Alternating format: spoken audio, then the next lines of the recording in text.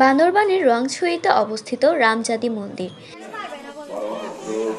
দেশের অন্যতম বৃহত্তম এই বৌদ্ধ মন্দিরের মূল উচ্চতা প্রায় একশো পঁচাত্তর ফুট। এই জাতি প্রতিষ্ঠা করেন উপায়াজত মহাথেরো তিনি বান্দরবানের সকলের কাছে গুরুভান্তে নামে পরিচিত। এর আগে নির্মিত স্বর্ণ মন্দিরের উচ্চতা আশি ফুট। প্রায় এক যুগেরও বেশি সময় ধরে জাতিটি নির্মাণ করা হয়েছে। শুধু ভক্তদের কাছেই নয়, এটি দেশের সব মানুষের কাছে আকর্ষণীয় হয়ে উঠেছে।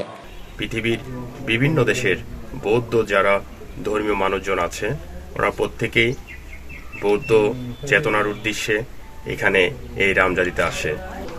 পুণ্য থাকলে, অনেক পারামি থাকলে এই ধরনের জাদি প্রতিষ্ঠিত, প্রতিষ্ঠা করতে পারে।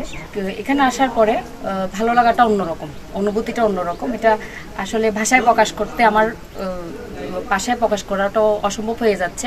আমি চাই যে আমি এখানে এসে যেন, আমি বারবার এখানে এসে যেন পুণ্যদান করতে পারি। দু হাজার পাঁচ সালে জেলা শহর থেকে পাঁচ কিলোমিটার দূরে রংছড়ি সড়কের হদাবাবুর ঘোনার এলাকায় পাহাড়ের চূড়ায় জাদিটি নির্মাণ করা হয়েছে।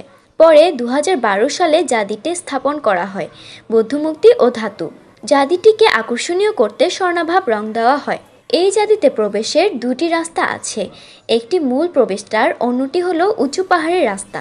মূল প্রবেশদ্বার দিয়ে প্রবেশ করার অনেকগুলো উঁচু সিঁড়ি পার করে দেখা মেলে এই অপূর্ব রামজাদির যাদের অভ্যন্তরে রয়েছে ছোট বড় পিতলের দশটি বুদ্ধ মুক্তি আর যাদের উপরের অংশে রয়েছে নব্বইটি মুক্তি যাদের ঠিক পাশে রয়েছে ভিক্ষুক এবং শ্রমণদের থাকার ঘর।